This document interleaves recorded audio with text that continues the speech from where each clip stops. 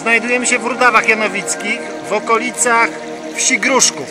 Szukamy pustej skały, ale coś jej znaleźć nie możemy. Natomiast przy okazji tego szukania, tej pustej skały, dotarliśmy do doliny nad Gruszkowem, w której znalazłem w Rumoszu z takich głazowisk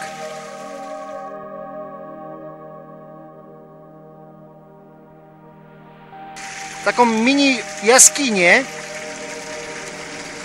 która jak widzimy jest utworzona przez płynący potok. I teraz tak, ten potok wpływa właśnie w takie szczeliny skalne. My tego nie widzimy, ale on sobie płynie tam pod spodem, tak jak e, w wapieniach. Tu mamy też taki wlot.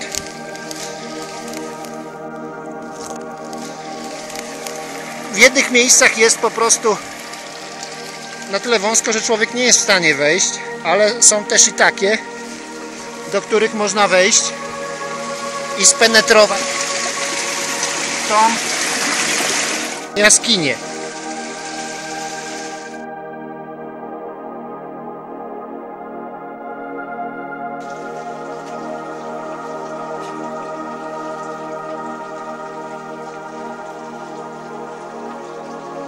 Tu mamy takie wejście.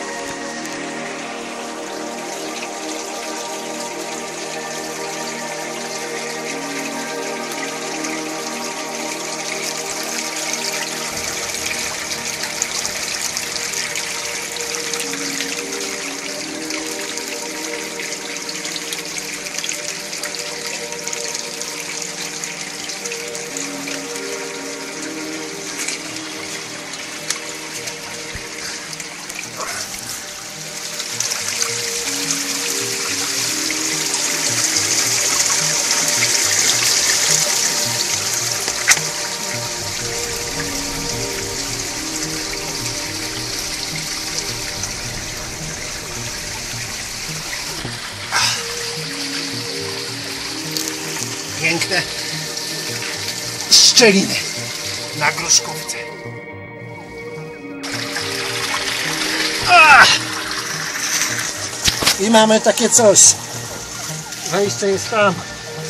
Cześć, witam wszystkich. Kolega Rafał Stypiński właśnie asekuruje mnie.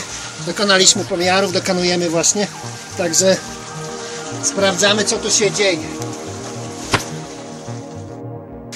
Piękna jaskinia na Gruszkówce. Idzie się dołem z pągiem, jest bardzo długa z tego co widzę. Zaraz będziemy ją urabiać. W tym miejscu, jak widzimy, płynie sobie woda. Okej, tu nastąpi akcja przyciskania. Panie Rafale, Janek atakuje. Szczeliny na Gruszkówce.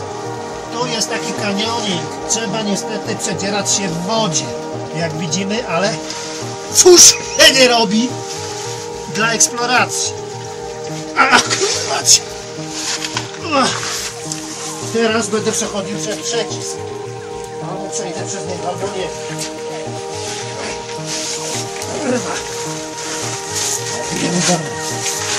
Muszę jednak górą to potraktować, bo jest bardzo potraktować.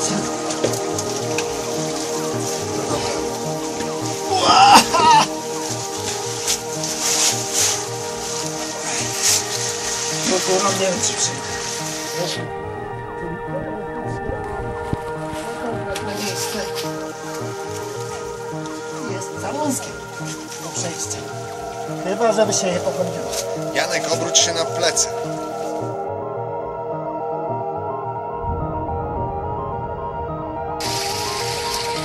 Jaskinia gruzowo-zapadniskowa. Bardzo długa jest. Bardzo piękna. Co jakiś czas są takie wyloty.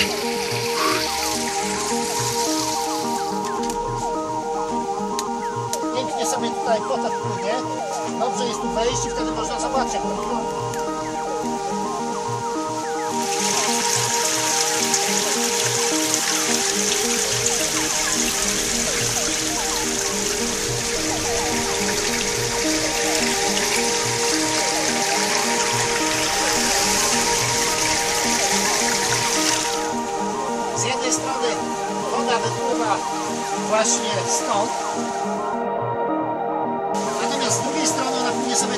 tam właśnie urobiłem, tam jest bardzo ładnie.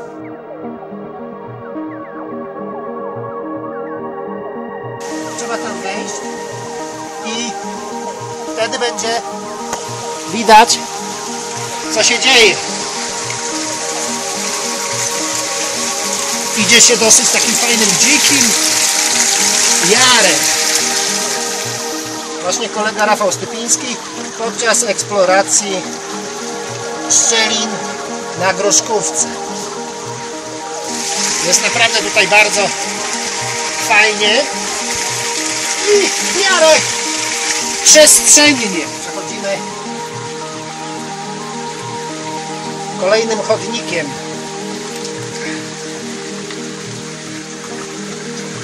Jest bardzo, no nie, bardzo może nie, ale jest wąsko, nieprawdaż?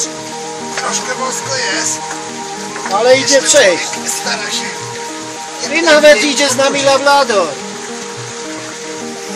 Aki, Aki. Jak widzimy, pies mieści się tutaj swobodnie. Robi tutaj za sondę spolologiczną. Woda sobie płynie. I wychodzimy na zewnątrz kolejnego odcinka. Tu mamy taką boczną kieszeń w gardzie. Ale ja wychodzę ten. To ja pójdę naokoło i wezmę jak będziesz wychodzić. Dobrze.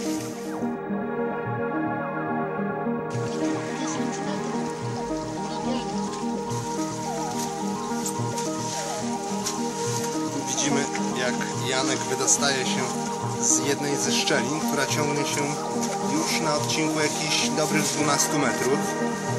Mamy jego nogi, pojawia się głowa, resztki kurtki. I mamy właśnie taki przystanek chwilowy, bo dalej też jest kontynuacja tej szczeliny. Tutaj tak jak y, kolega Rafał wspomniał, około 12 metrów takiego fajnego przycisku. Takiej kontynuacji właśnie stromykiem pod ziemią w takich szczelinkach. A ja idę tam dalej jeszcze urabiać metry. A więc kolega Janek zagłębia się w kolejny odcinek.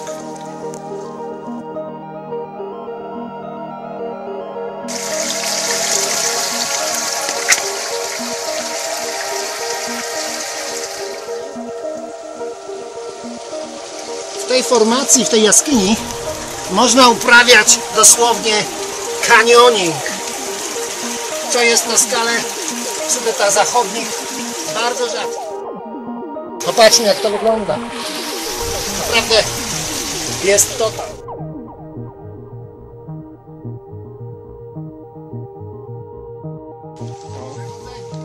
Pod spodem, pod tym rumowiskiem przeciska się właśnie Janek, szukając przejścia do końca tego zapadliska. Jesteśmy już w ostatnim odcinku e, tej szczeliny zapadliskowej. Jest tu tak urokliwie dosyć, bo tam jest taka galeryjka z takim małym wodospadzikiem. Woda jest czysta, więc można się obmyć.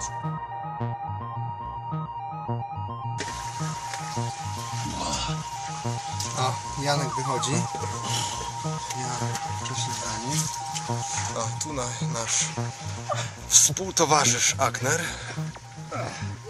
obserwuje. Jest speleologiczny, który służy nam jako sonda.